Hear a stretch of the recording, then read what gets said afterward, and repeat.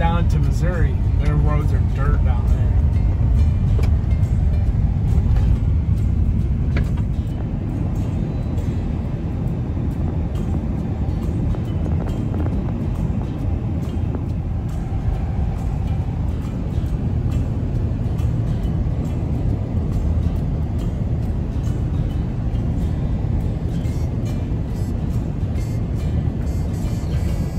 Five mile ride from here over to the town across the river in Sabula, Iowa. I lived over there for some